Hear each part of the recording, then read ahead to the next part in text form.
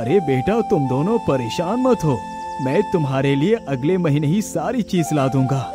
ठीक है पिताजी अब हम दोनों खेलने के लिए जा रहे हैं। ठीक है बेटा तुम दोनों जल्दी ही घर वापस आ जाना। इतना सोचकर दोनों भाई खेलने के लिए अपने दोस्तों के पास चले जाते हैं।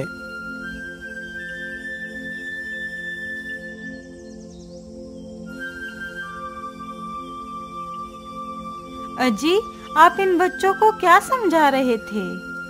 और कुछ नहीं सेठानी जी। मैं बस इन दोनों का बचपन जी रहा था। अरे जरा उधर देखिए। उन दोनों पक्षियों के जोड़े को। वह दोनों अपने बच्चे को कैसे प्रेम कर रहे हैं? इनके इस प्रेम को देखकर कितने आनंद की अनुभूति होती है। हाँ सेठानी जी आप एकदम ठीक कह रहे हैं। इन्हें देखकर तो मेरा हृदय प्रसन्नता से भर जाता है। इसी प्रकार दोनों सेठ और सेठानी का परिवार खुशी खुशी अपना जीवन यापन कर रहा था।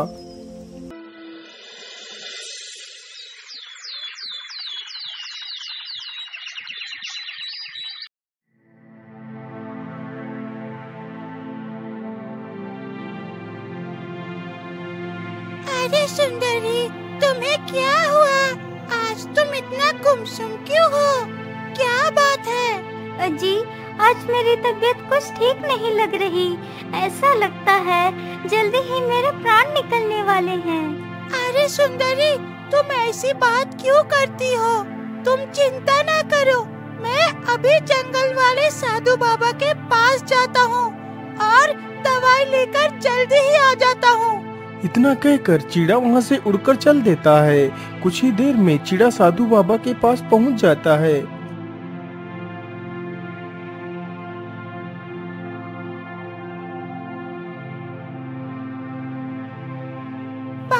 आके खोलिए बाबा। मेरी मदद कीजिए बाबा। क्या बात है? तुम इतना परेशान क्यों हो? क्या बताओ बाबा?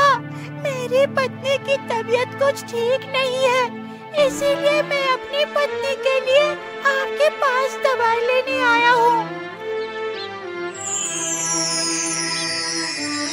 फिर साधु उसे कुछ पत्तियाँ देता है। हे पंछी तुम इन पत्तियों का रस निकालकर अपनी पत्नी को पिला देना तो वो ठीक हो जाएगी। ठीक है बाबा अब मैं चलता हूँ। मेरी पत्नी अकेली है। इतना कहकर चीड़ा वहाँ से उड़कर चल पड़ता है और जल्दी अपने घोंसले में पहुँच जाता है।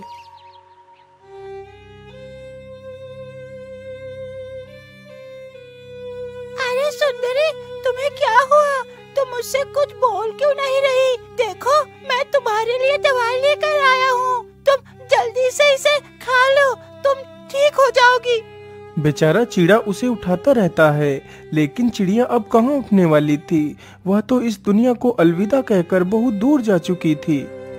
बेचारा चिड़ा और वह दोनों बच्चे उस मृत चिड़िया के शरीर के पास बैठकर रोते रहते हैं। अरे सेठानी जी, आज इस चिड़े को क्या हुआ? ये रो क्यों रहा है? सेठ और सेठानी दोनों आपस में बात कर ही रहे थे कि तभी चिड़ा चिड़िया की लाश को उठाकर घोंसले से बाहर निकलता है और पेड़ के नीचे आकर एक गड्ढा खोदने लगता है ताकि वह अपनी पत्नी को पेड़ के नीचे दफना सके। अरे ये क्या?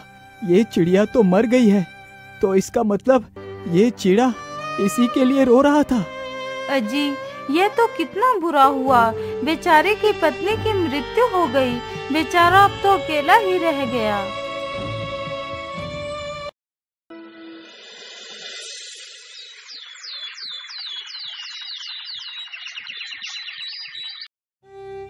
इसी प्रकार चिड़ा के दिन गुजरने लगे। वह अकेले ही बच्चों की देख रेख करता है।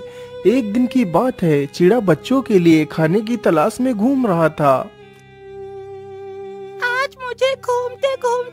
समय हो गया, लेकिन अभी तक मुझे खाना तो मिला ही नहीं।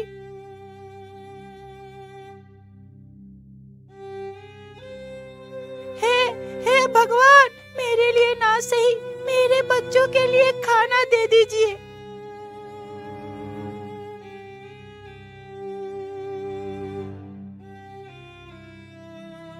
अरे, क्या बात है? आप इतना दुखी होकर क्यों बैठे हो? अरे मैं आपको क्या बताऊँ? आज मैं सुबह से खाने की तलाश में घूम रहा हूँ लेकिन अभी तक मुझे खाना नहीं मिला है। अरे आप परेशान मत होइए। आप मेरे साथ चलिए। मैं एक ऐसा खेत जानती हूँ जिसमें ढेर सारे अनाज के दाने पड़े हैं। इतना कहकर दोनों वहाँ से उड़ पड़ते हैं और जल्दी ही उसी खेत में पहुँच जाते हैं।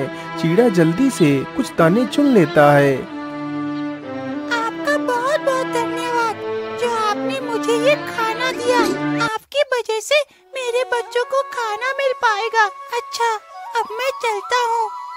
इतना कहकर चीड़ा अपनी चोच में कुछ अनाज के दाने रख लेता है और वहाँ से उड़ जाता है।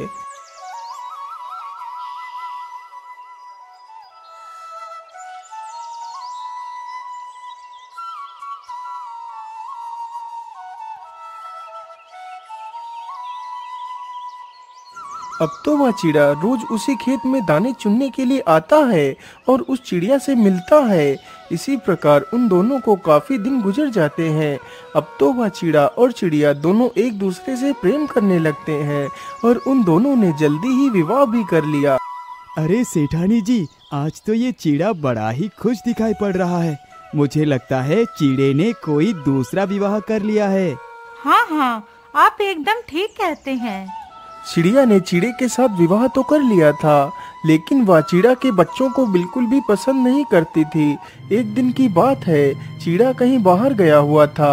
वह चिड़िया अकेली ही घोंसले में बच्चों के साथ थी। अरे सेठ जी आज वह चिड़ा तो अपने घोंसले में है ही नहीं। सेठ और सेठानी जी दोनों पेड़ की तरफ़ देख ही रहे थे। तभी उस चिड़िया ने दोनों बच्चों को घोंसले से बाहर फेंक दिया। बच्चे पेड़ से नीचे गिरते ही मर जाते हैं।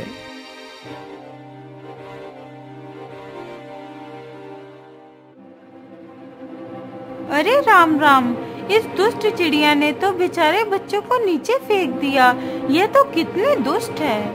हाँ सेठानी जी ये चिड़िया तो वाकई कितनी दुष्ट है। जिसने इन मासूम बच्चों को नीचे फेंक कर मार दिया।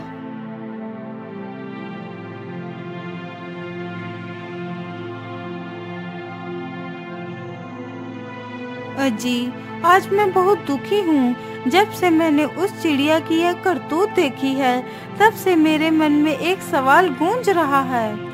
लेकिन सेठानी जी आखिर आपके मन में ऐसा क्या सवाल चल रहा है? मुझे जल्दी बताइए। सेठ जी मेरा मन कहता है यदि कभी मुझे कुछ हो जाए तो तुम दूसरा विवाह मत करना। यदि आपने दूसरा विवाह कर लिया तो हमारे बच्चों का क्या होगा? अरे नहीं नहीं सेठानी जी तुम ऐसी बात क्यों कर रही हो? तुम्हें कुछ भी नहीं हो सकता।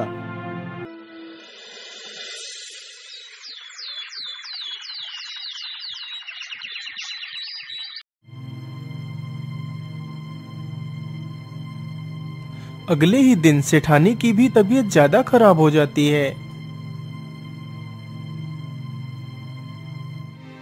अरे सेठानी जी आज आप इतना देर तक सोती रही क्या बात है? अजी आज मेरी तबीयत कुछ ठीक नहीं है।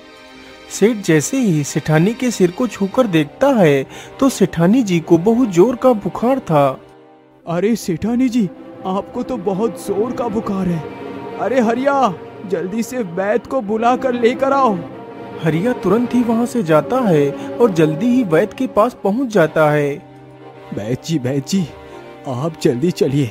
हमारी सेठानी जी की तबीयत बहुत ज़्यादा खराब है। वैद इतना सुनते ही हरिया के साथ चल पड़ता है लेकिन हरिया वैद को लेकर जब तक पहुँचता है तब तक वह सेठानी भी इस दुनिया से बहुत दूर जा चुकी थी।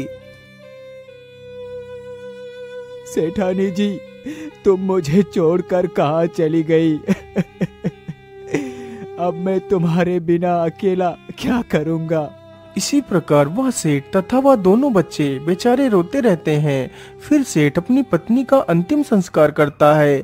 जब से सेठानी जी की मृत्यु हुई थी तब से सेठ गुमसुम रहने लगता है।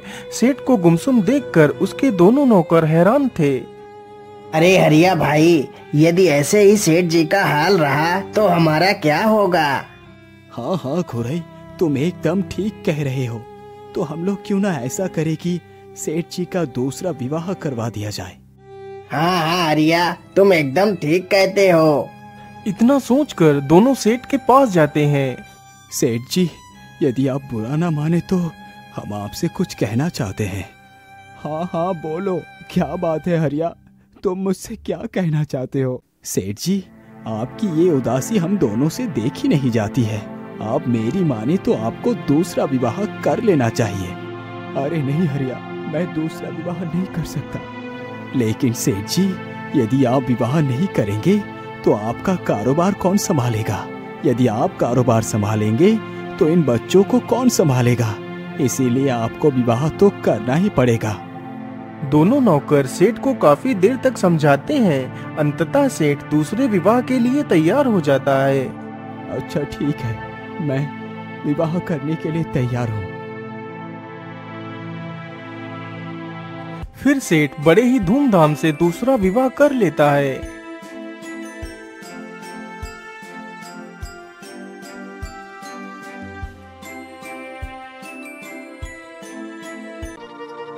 जब से वह दूसरी सेठानी घर आई थी, तब से उस सेठानी का व्यवहार सभी के लिए काफ़ी ज़्यादा खराब था। वह सेठ के दोनों लड़कों को काफ़ी ज़्यादा परेशान करती थी और उनको छोटी छोटी बातों पर डांटा करती थी। तथा उनकी शिकायत सेठ से किया करती थी।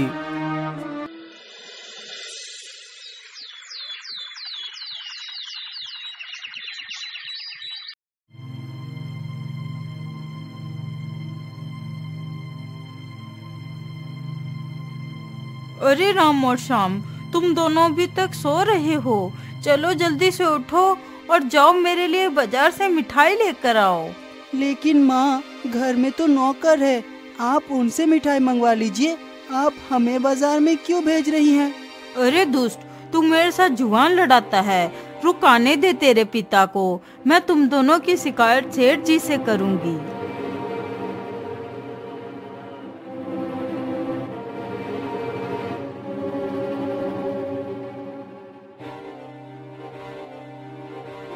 अरे सेठानी जी क्या बात है? आज आप फिर से उदास होकर बैठी हैं। जी सुनिए ना आपके ये दोनों पुत्र दिन पर दिन जितने बड़े होते जा रहे हैं उतने ही ज़्यादा कामचोर भी होते जा रहे हैं। आज आपको फैसला करना ही होगा या तो आप मुझे ही रखो अपने पास या फिर उन दोनों लड़कों को ही। यदि आप उन दोनों को रखोगे तो आज मैं हमेशा के लिए चली जाऊँगी। सेठानी के मुँह से यह बात सुनते ही सेठ बहुत घबरा जाता है। अरे हरिया, तुम दोनों कहाँ हो? जी मालिक बोलिए, हमारे लिए क्या आदेश है? हरिया और गुरई, तुम दोनों जाओ और राम शाम को कहीं दूर जंगल में छोड़ कर आओ, जहाँ से वो दोनों कभी वापस लौट कर ना आ सके। लेकिन मालिक, आप ये क्या कर रहे हैं? आप अपने ही पुत्र को जंगल में छोड़ने की बात कर रहे हैं। हरिया, मैंने तुमसे जितना कहा है बस उतना ही करो। सेठ के मुँह से यह बात सुनते ही हरिया और घुरई दोनों सेठ के लड़कों के पास जाते हैं। अरे राम और श्याम आज हम लोग जंगल में टहलने के लिए चल रहे हैं। चलो हमारे साथ चलो।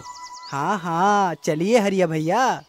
इतना कहकर वह दोनों नौकर उन दोनों लड़कों को लेकर जंगल की तरफ़ निकल पड़ते हैं।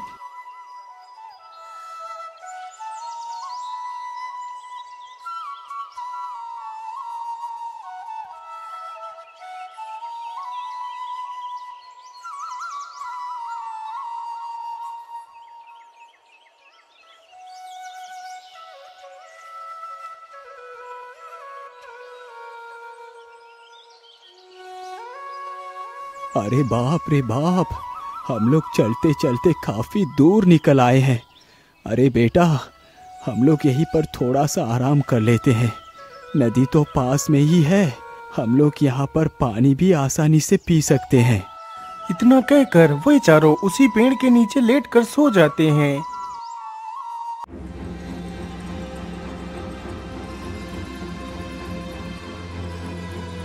अरे हरिया भाई जल्दी से उठो और जल्दी ही यहाँ से वापस चलो। कहीं यहाँ दोनों जग गए तो समस्या हो जाएगी। इतना कहकर दोनों वहाँ से जल्दी भाग जाते हैं। कुछ देर बाद जब श्याम की आँखें खुलती हैं तो देखता है हरिया और गुरई दोनों वहाँ से जा चुके थे।